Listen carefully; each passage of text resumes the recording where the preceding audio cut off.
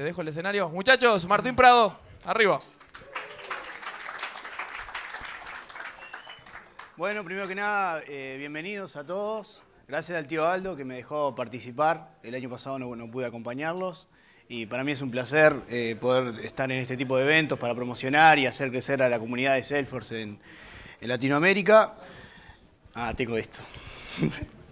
Eh, hoy voy a hablar de IoT Pins, Internet de las Cosas y cervezas, que son dos, co- dos cosas que me gustan mucho.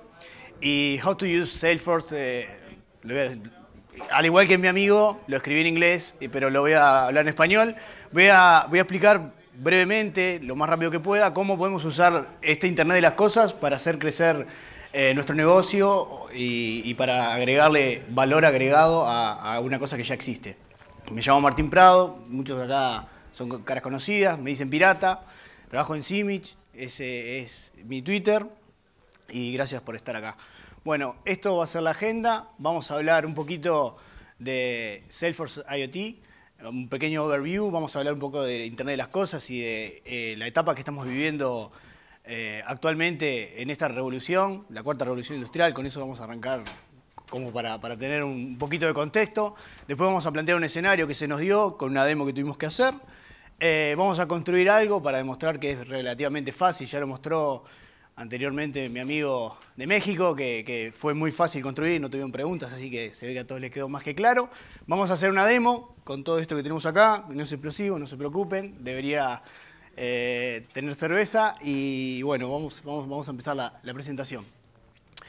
Eh, yo tuve la suerte este, el año pasado de poder asistir a la Dreamforce y un- una cosa que se repetía en todas las charlas, por ejemplo la de las keynote y todo, se hablaba de la cuarta revolución industrial, todo el tiempo, cuarta revolución industrial, cuarta revolución industrial.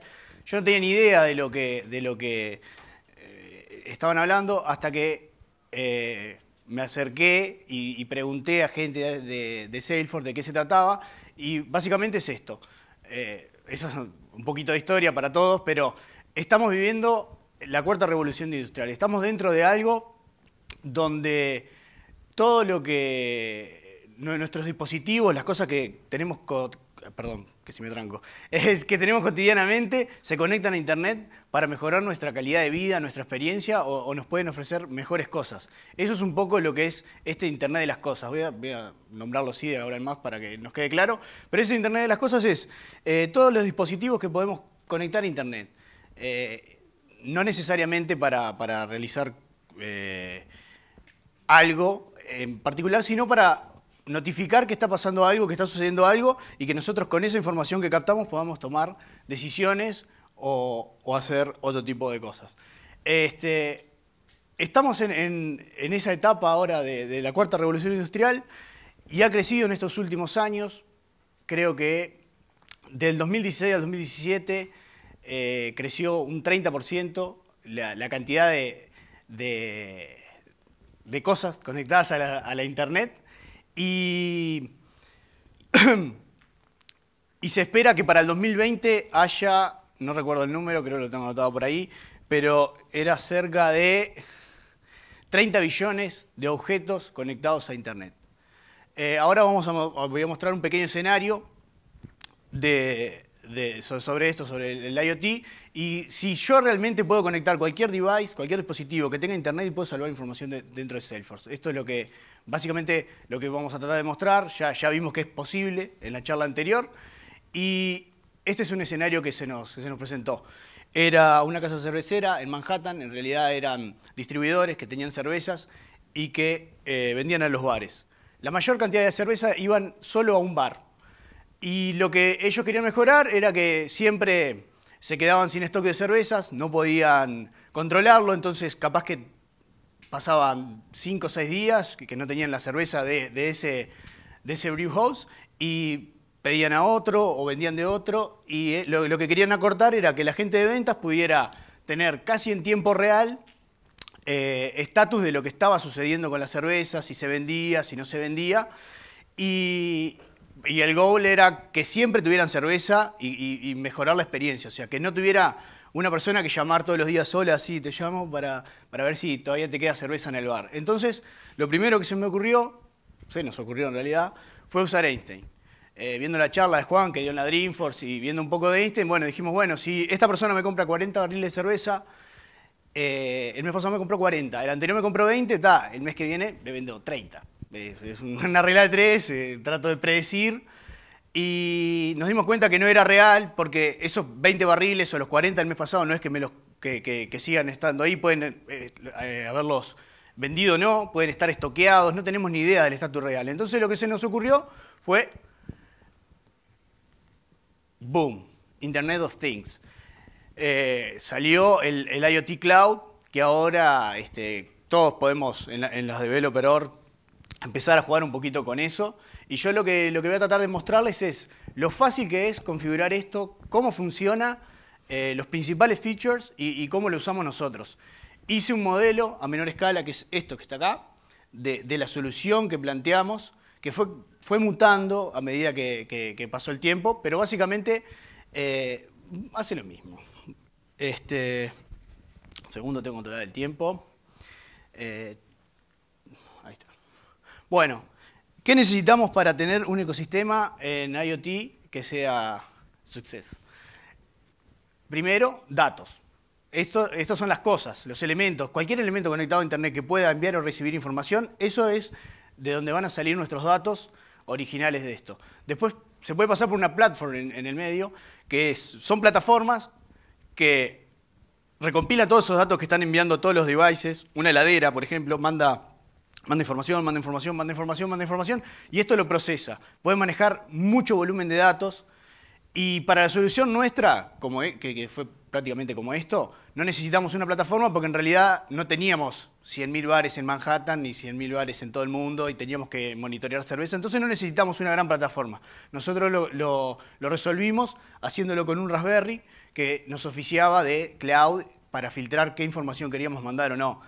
Pero para que tengan una idea, los eventos y cómo podrían usarse, les voy a poner un ejemplo este, muy básico. Una heladera, eh, para el 2020, como, como dije anteriormente, que vamos a tener tantas cosas eh, conectadas, una heladera eh, se les queda sin agua y automáticamente están mandando información, se procesa del otro lado y capaz que le hace el pedido al supermercado y te dicen, no, te estás quedando sin agua, te queda una botella sola, por eso te pedí. O tal o tal alimento se está por vencer. Eso es más o menos lo, que vendría a ser la data y las platforms es el que va a procesar toda esa información que le estamos mandando y que va a tomar las decisiones acá entra el IoT Cloud. ¿Cómo enviamos? Y Salesforce, el CRM. Y ahora voy a, explicar cómo funcionaría este, lo que vendría a ser el, IoT Cloud. Primero, Platform Events, que habló nuestro amigo anteriormente, es la forma que tenemos ahora de enviarle eh, a Salesforce nuestros eventos, las cosas que están pasando para que la procese. Toma, Salesforce, está pasando algo con esto, vos ves lo que haces. Contexto. Es la forma que nosotros tenemos de relacionar lo que vendría a ser eh, nuestros, nuestros eventos, lo que está pasando con un objeto real en Salesforce. O sea, si yo tengo eh, un dispositivo, una heladera o un barril de cerveza, yo lo tengo que identificar, eh, perdón, de alguna manera dentro de Salesforce. Entonces, yo creo un objeto que se llama barriles y le voy a decir al Platform Embed, este device que me está llegando acá, device ID, lo voy a relacionármelo con este. Este es tu contexto. Después de eso, pasa por una orquestación, que básicamente la orquestación lo que son son estados y rules que nosotros les asignamos y que, van a ir variando, eh, escrito por nosotros eh, en base a lo que realmente necesitemos o lo que creamos importante. Y después que tengamos eso, se van a ejecutar acciones. Este, todas esas cosas de Salesforce prácticamente no necesitan nada de programación. O sea, está totalmente resuelto, es lo que nos está ofreciendo actualmente el IoT Cloud. Esta es una breve introducción, después yo le voy a mostrar un poquito en código y voy a pasar por los que no conocen o no curiosearon o entraron en Developer a ver qué era IoT, para que, para que se den cuenta, pero está, está muy bueno. Me voy a centrar ahora en esta parte, que es la primera, la extracción de datos, el, proceso y, la parte de envío a Salesforce. Eh, ¿Cómo resolvimos la arquitectura nosotros de, esto? De, esto es, bueno, no es tan prolijo como el del amigo, pero ahí está, luchando. Eh, esto era lo que necesitábamos. Dijimos, esto es lo que precisamos en realidad. Un dispositivo que esté entre medio del barril de cerveza y donde se sirva y que yo pueda medir cuánta cerveza pasa. De ahí vino el nombre de la charla porque al principio solo queríamos medir las pintas la, pinta de cerveza, de cuántas cervezas se vendían, cuántos litros, cuánto, si era una jarrantera, si vendían pintas, eh, cuántas pintas teníamos disponibles en un barril. Este, y mediante un botón, cada vez que se cambiaba el barril, nosotros, me estoy adelantando, pero no importa, nosotros eh, teníamos, hay 20 barriles, acá apretar el botón que el device 8, que donde van las cervezas Pilsener, me pusieron otro barril, entonces nosotros le, al count que teníamos, le decíamos de esa order, le, sacábamos, le restábamos uno. Así de sencillo, hasta que cuando quedaran tres, creábamos un caso y le notificaba a una persona, bueno, tenés que, eh, se está quedando sin cerveza, comunicate o crearle una order, porque ya está, le quedan tres cervezas. Eso era lo que necesitábamos. Y, dijimos, está, bueno, es un dispositivo que va en el medio que solo necesita medir. Lo hacemos con Arduino, que yo conozco, que en realidad lo había comprado y básicamente este era mi nivel de Arduino cuando, cuando, cuando empecé el proyecto. Había comprado el Arduino, prendí una luz y ya me creía que era un, ingeniero nuclear por prender una lamparita ahí, que ahora las prendo también. Pero básicamente es eso y, tuvimos que, en base a eso, me asignaron a mí para que hiciera una demostración y arranqué con este proyecto. Eh, ¿Cómo resolvimos? Ahora voy a hacer la explicación entera de, nuestra arquitectura. Primero teníamos esto, que es el barril de cerveza, el beer tap, que es donde se sirven las cervezas, las cervezas tiradas, tucu, tucu, tucu, tucu, que nosotros solo lo hicimos para 15 dispositivos, o sea, 15 tipos de cerveza distintos que estaban relacionados con lo de. Si el bar vendía 70, no nos importaba. Un flow meter, que es un medidor de flujo que va del Arduino, que es esto que está aquí, que lo que hace es, cuando pasa por ahí, devuelve, una, devuelve señales y en base a esas señales este, se hacen unos cálculos matemáticos con, el efecto Hall, hay que hacer unos cálculos y más o menos le, erramos por 3% en cada barril, lo cual no es tan grave porque si, si queda un resto, no, no va a pasar nada. Mejor que, que falte. Tenemos el Arduino en el medio, que nos va a oficiar de, de medidor con el flow meter, ese que va a enviar la señal del Arduino al, al, flow meter. Esto pasa por un Raspberry. ¿Por qué usamos esta arquitectura y no lo hicimos de otra manera? Para la demo ahora está directamente enchufado en la computadora porque me queda mucho mejor mostrar la consola.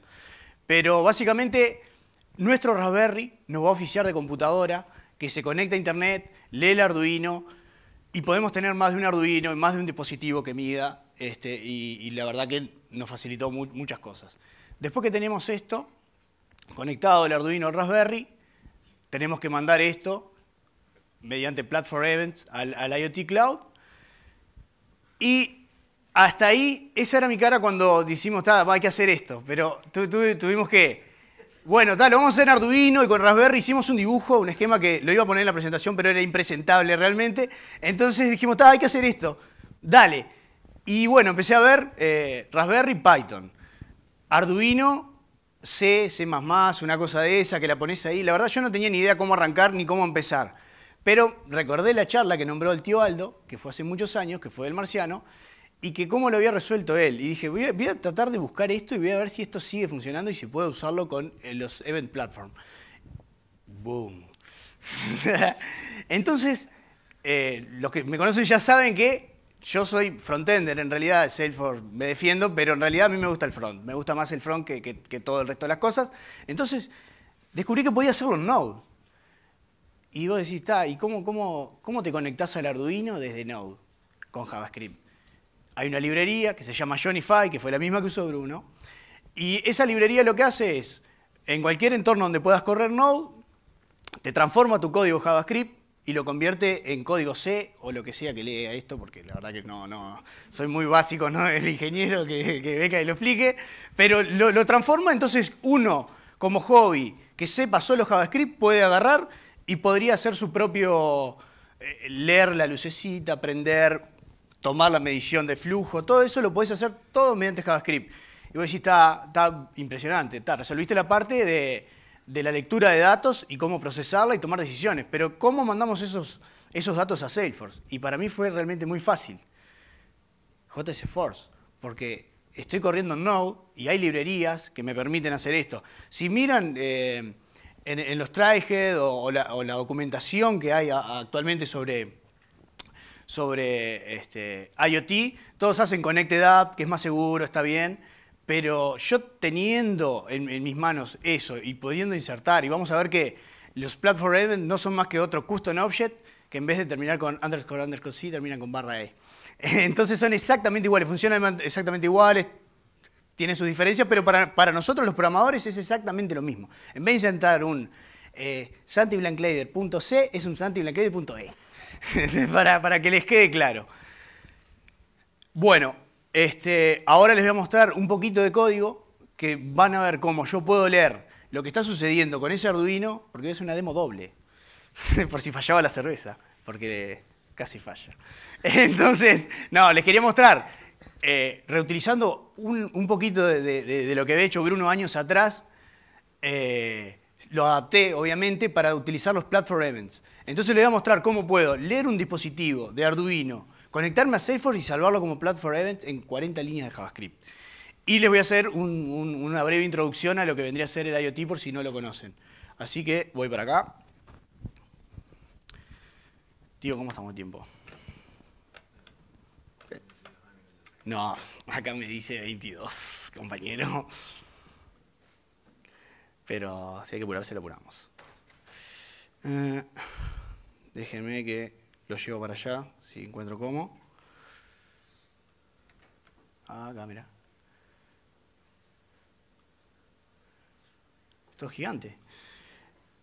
Bueno, este es el, el dummy, que son exactamente 40 líneas de JavaScript. Y lo que hago al principio es un simple JS eh, agrego las dos librerías, el Shorify y, el, y, la GSForce para, para conectarme, inicializo el board, que vendría a ser el Arduino, me conecto a Salesforce y tengo un status on y off que voy a mandar a Salesforce. Este, cuando, está, cuando, cuando el board ya está conectado y ya todo el código que hice en JavaScript fue convertido, eh, entra en esto, tengo una función que es un botón, que lo único que voy a hacer va a ser, cuando aprieto ese botón más de dos segundos, este, eh, le cambio el estatus y se lo voy a enviar a Salesforce. ¿Dónde se lo envío a Salesforce? Primero, la conexión es sencilla, como mostró nuestro amigo. Eh, yo tengo esto acá que son las variables de, entorno, entonces son variables, son es el usuario, el password y la, y la token. Y si hay algún error lo voy a mostrar y si no, me va a mostrar un cartel que, está todo bien. Y después lo que voy haciendo es, fijándome si el estatus que mandé, porque en los ejemplos eh, que, que se encuentran en internet, mandan los eventos todo el tiempo, mandan los eventos, mandan los eventos, no importa si cambió, si no cambió, y hay muchas limitaciones, o sea, esto está medio en pañales y también hay un límite de callout y un límite de callout, no, de, la cantidad de eventos que tenés por día, por 24 horas, entonces yo lo que hago es controlo, bueno, si no cambió, si no cambió, si el botón nadie lo apretó, no voy a mandarle a Salesforce que lo apretó a alguien, entonces me quedo con, ese, con esa referencia y cuando cambia, simplemente, como les, les decía hoy, el, es, exactamente lo mismo que, tenemos con un, custom object, es un button event y create, le pasamos el device ID, que es nuestro identificador en Salesforce, ay Dios mío, cómo muevo esto, ¿no? Y, un status, que no se ve, pero ahí adelante hay un status, que vendría a ser el on y el off. Y, eso es todo el código que necesito. Y ahora les voy a mostrar, si me da un segundo. Hola. Se ve feo, ¿eh? Bueno, eh, setup, IoT, es enable y ya queda encendido. Esto vendrían a ser los, los, platform events, que es la forma donde nosotros creamos la data que queremos recibir, que como les dije, es prácticamente un custom object. Por ejemplo, para el botón, fue un new, se ve feo, ¿no? Muy feo. Pero eh, se crea el evento, tiene standard fields y podemos agregarlo nuestros custom files. Eh, eh, para mi caso fue el device ID y el status. Y con eso ya estaría eh, en condiciones de mandar eventos. ¿Cómo se relacionan los eventos? Era lo que hablamos, lo que les, oh, lo que les mostré hoy del context de IoT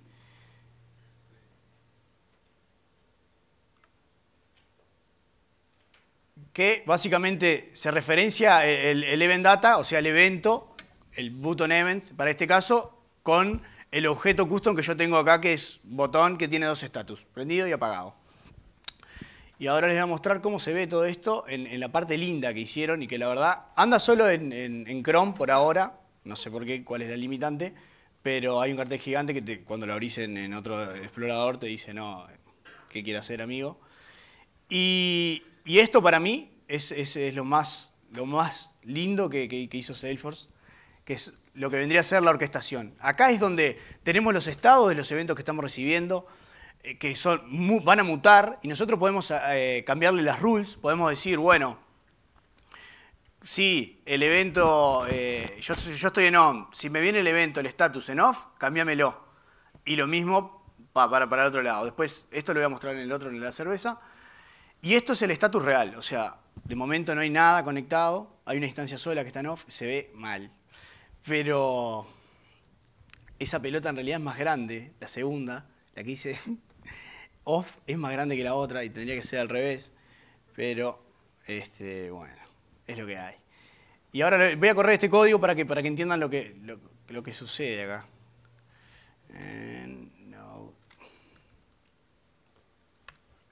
Estoy corriendo solo el dummy, que es este de 40, que ahí leyó, leyó, bueno, dio un error, no, ahí se lo vio, y ahí empieza a mandar eventos. Empieza a mandar eventos, empieza a... Ay, Dios mío. empieza a mandar eventos Después que ya salvó uno, yo ya le digo, no, no, no salves más, no salves más. ¿Y dónde me quedó la otra pantalla? Acá.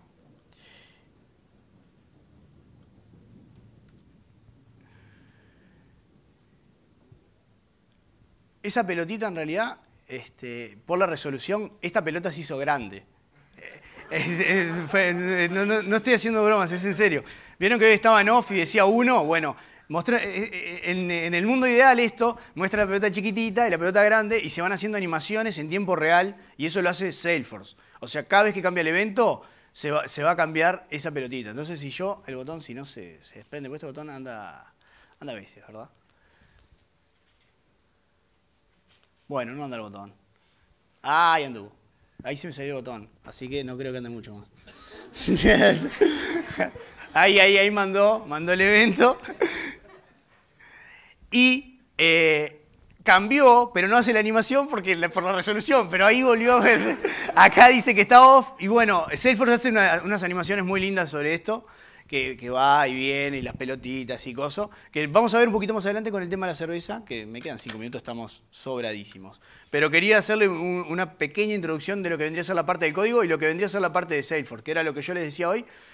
Ahí, acá que, es muy fácil, es crear un, objeto, crear un evento de entrada, relacionar ese contexto, o sea, eh, contextualizar y decir, este evento está con este objeto, y después de eso lo único que hacemos es venir acá y empezar a, poner rules. Y ahora vamos a llegar a las actions en, la otra, en, la, otra demo. Yo hago dos demos, por las dudas. Este, esto es lo que pasó ahora, ya entendí, es muy fácil, pero eh, ¿para qué usaría yo IoT? Y ahora es que se viene el demo time, que mi asistente, tengo un asistente que está acá. sí, vení, vení, subí, tranquilo. No, voy a aprender el... Esta es, lo que vendría a ser el código de la aplicación en sí, la, aplicación de la cerveza, ¿verdad? Y ahora les voy a mostrar... Ay, espere, un segundo, sorry. Vamos a ir acá, IoT. Así lo hacemos, eh, que, se vea lindo. Vamos a tratar que se vea lindo, pero... Tenemos la orchestration y tenemos este que es de la cerveza. Y tampoco se ve lindo. Pero, claro, si las pelotas son iguales, o sea, no, no hay chance. Pero lo que me está diciendo ahí que tengo dos barriles llenos, dos barriles vacíos, uno que está por debajo de 5 litros. Miren, acá tengo las variables que son cuándo eh, el barril está lleno, cuándo es el mínimo, y después un, account mía, después tengo las rules, que lo que le digo es, bueno, si el barril está lleno y me baja de 20 litros, lo que tenés que hacer es pasarme lo que está usado, que yo le voy a hacer acá, voy a prender una luz, mire, vamos a correr el, el programa ya mismo, así van viendo, imprimir.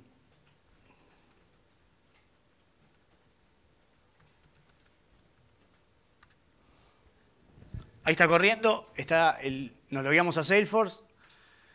Esto va a prender una luz esta luz azul que se ve ahí chiquitita es en realidad que el barril está lleno. Cuando el barril está lleno, este, lo, que hacemos es, un segundo, ahí.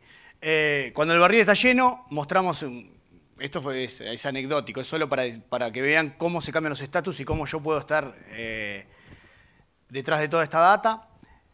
Salvo un evento solo y después no sigo enviando los barriles. Y ahora se viene mi asistente que va a hacer la demostración. Soy mozo. Acá tenemos, vieron que está el full barrel, está en 75, hay tres barriles. Esto era hermoso con las pelotitas grandes y chiquitas, pero lamentablemente ahí sirvió, ahí sirvió, cerveza caliente, ¿verdad? Y... La heladera ni viene... Si venimos para acá, dice que bajó, ahora tenemos 19.78, 42 pinta available, y estamos dando esa información a Salesforce, y lo que pasó acá es que el barril pasó a usado, entonces tenemos 2 y 2, mientras yo tomo un traguito de cerveza. Y tengo un botón acá, que es un reset, que lo que hace es eh, simula lo que hacía el, barril eh, en, el, otro, en, en, la demo que creamos. Cuando yo apreté el botón, cambió el barril y me notificó este mail que eh, cambié un barril en el Punta Dreaming, que está en 20 litros, como ven acá. Ay, Dios mío. Acá está de vuelta lleno el barril y me notificó. ¿Cómo hago todo esto? Mediante las acciones, que era donde quería llegar antes de, como de cerrar, así el tío no, no se enoja porque siempre me paso. Y... Ah, tenía la garganta seca. Este, eh, cuando declaramos las rules para cambiar de estatus, podemos declarar ya también acciones. Bueno, por ejemplo, acá tengo una acción. ¿Dónde? Acá. Eh, eh, eh, este. Por ejemplo, si, si pasa a menos de 5 litros, ay, cómo se ve, hermoso, pero... Bueno, imagínense que acá lo que decimos es, bueno, pasó tal cosa, ¿qué tengo que hacer? Bueno, crea un case, abrime un case. Perfecto, te creo un case. ¿Y qué diga que? Bueno, este es object. Tenemos que generar una orden. Se lo asigna a la persona y se lo envía clic y esto lo hace automáticamente. Lo mismo para, mandar un mail o para actualizar un field. Yo tengo, lo tenemos relacionado con otro, con otro objeto que vendrían a ser los barriles, los, lectores, los devices. Entonces podemos actualizar y saber en tiempo real en qué nivel está ese barril. Ahora, eh, acá es donde entra la, parte humana para ver qué le suma, qué, cómo, cómo lo ayudaría a la, a la persona o cómo le puedo, qué valor agregado le puedo dar yo. Y es realmente muy fácil con esto porque no, necesitas absolutamente nada de código para tomar eh, decisiones, como si quedan menos de 5 barriles, eh, crea una orden.